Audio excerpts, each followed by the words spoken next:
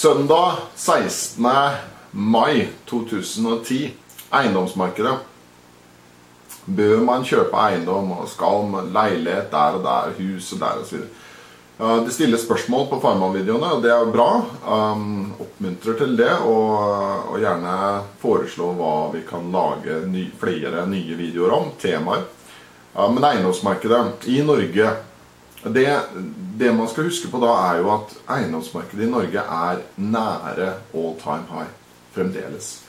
Og sånn det ser ut nå, så kommer vi til å nå all time high og gå forbi det, sånn at vi, vi får en ny prisbølge. Altså Jeg tror kan godt hende eiendomsprisene om ett år er høyere enn de er nå, og to år også, for den saks skyld. Eh, men det man skal huske på når man kjøper noe når noe er på all time high, da, så må man analysere de faktorene som er rundt. Ja, i Norge det er liten arbeidsledighet, og, og staten skuffer inn oljepenger, og alt er fryd og gammen. Um, og så kan folk låne penger lett og, og betale ned på gjeld, og så presses da prisene opp til det maksimale av hva folk med dagens lønninger kan betale med dagens renter. Det er jo sånn, Prisbildet dannes jo ikke av hva folk har av penger, men hva folk får lov til å låne. ikke sant? Og um, Det er en rekke faktorer her. Det er lett å få lån i Norge fremdeles. Det er lett å få jobb i Norge fremdeles. Folk tjener bra. Det er En stor skattefordel på rentedelen. Um, og um, alle de faktorene peker på høye eiendomspriser. Og så er det også slik at det er en viktig sånn mental del i eiendomsprisbildet. Uh, og den handler om uh, altså De seneste 10-15 årene så har det vært et sånt jag etter eiendom. ikke sant? Og um, det jaget det har vi fremdeles i Norge. da. Men det er viktig å tenke på at i mange andre markeder så har eiendomsmarkedet sprukket. Altså I USA har det sprukket, i uh, store deler av Europa har det sprukket, og andre steder har eiendomsmarkedet sprukket. sånn at man, denne illusjonen om at man alltid tjener på eiendom, denne, dette jaget til eiendom, da, det er blitt moderert veldig kraftig. Sånn som i Florida for eksempel, er det så mange som har brent seg. at det, det er ikke det jaget lenger. da.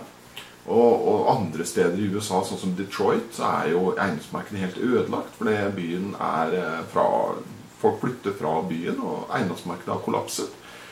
Eh, men i Norge så er vi fremdeles i denne, denne manien, da. Denne eiendomsmanien. Og det kan nok bli verre. Vi er i en bølge nå, og disse bølgene har jo en tendens til å, å bli mer ekstreme enn hva man eh, på forhånd kan gjette seg til og, og på en måte forskuttere. Men det store spørsmålet er da på lengre sikt Kommer eiendomsmarkedet til å holde seg så bra på lang sikt? Og da må vi jo skille på det nominelle og det reelle, selvfølgelig.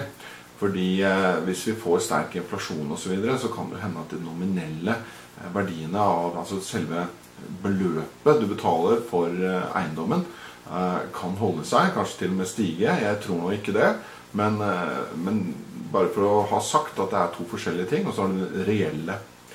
Og når det gjelder det reelle, så er det da ikke sant, en rekke faktorer i Norge som alle peker til positivt. Altså, Eiendomsmarkedet er ikke sprukket, det er mani fremdeles. Folk er manisk opptatt av eiendom. Um, det er ekstremt lave renter. Det er veldig lav arbeidsledighet. Og alle disse tingene her kan snu, da, og vil snu før eller senere. Det er ikke sånn at altså, disse rentene kommer til å være så lave for resten av historien. Og det er ikke sånn at Norge har for evig lav arbeidsledighet. Og det er ikke sånn at denne manien, denne mm, eiendomsfascinasjonen, at den kommer til å vare evig. Nei, det, sånn er det ikke. Alle de faktorene kommer til å snu. Spørsmålet er når de snur, og hvordan de snur osv. Men det kan godt hende at om ti år at vi har renter på 12% og inflasjon på 8 At uh, stor arbeidsledighet i Norge av en eller annen grunn. At det uh, kan være at Kina har kollapset, og det er ikke noe etterspørsel etter våre råvarer.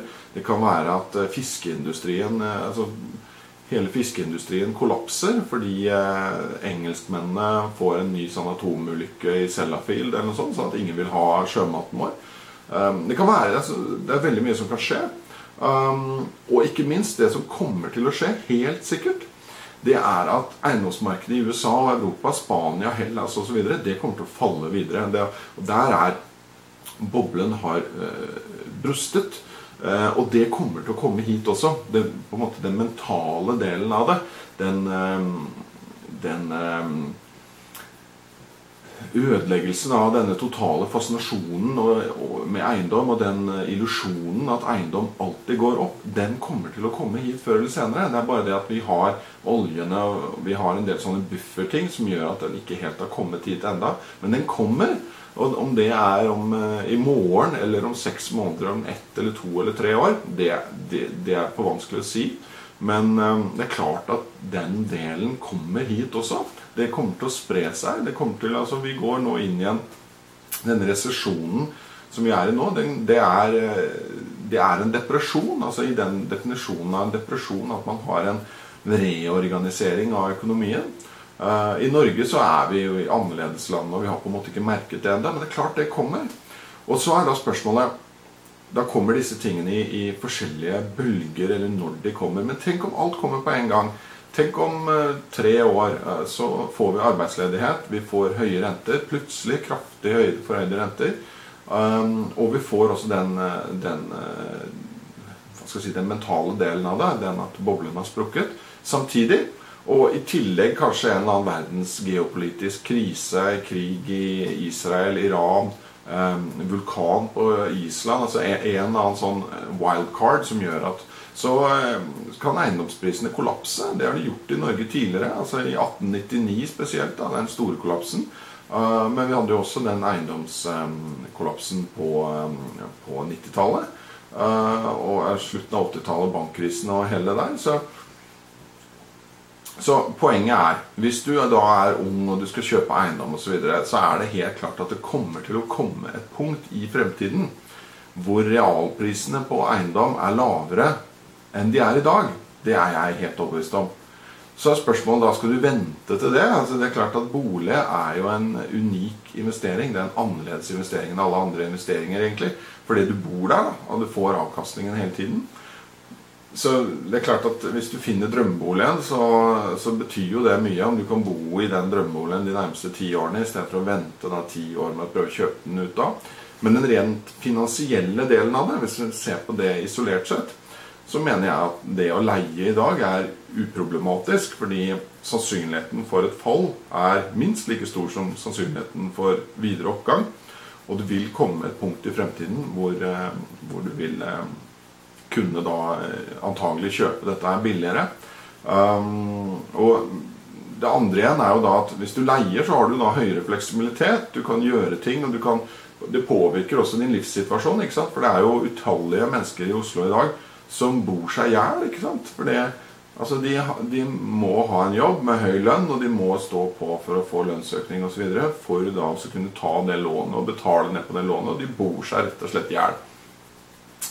Det har du jo da en mulighet til å um, heve deg over eller, eh, eller unngå, da. Hvis du velger å leie eller leie deg inn et sted eller bo sammen med noen. Eller, altså dette jaget med å absolutt ha sin egen eiendom det, det er ikke nødvendigvis eh, så viktig. Det andre å tenke på er jo at eh, prisene nå i Spania kommer til å falle. De faller kraftig nå. Um, og kommer til å falle videre. Du får, Euroen faller også. Du får jo i dag en leilighet i um, Alicante f.eks. Fin, mye fine leiligheter på under en million. Uh, og da kan man jo vurdere om man da skal på en måte pensjonere seg tidlig, da, hvis du er i sent i 40-åra eller 50-åra satse på det isteden. Du flyr til Alicante med Ryanair og fra Torp og Rygge og Gardermoen. Det går masse fly hver dag, så du kommer deg veldig lett til Norge igjen. Og satse på det isteden. Så det der med å kjøpe eiendom, det er, det er nyansert. Og, og, og, det jeg vil si, er at det er ingen grunn til å hive seg inn i det, sånn som det har vært de seneste 10-15 årene. Toget er på mange måter godt. Uh, og, og, man bør være forsiktig med det, det eiendomsjaget.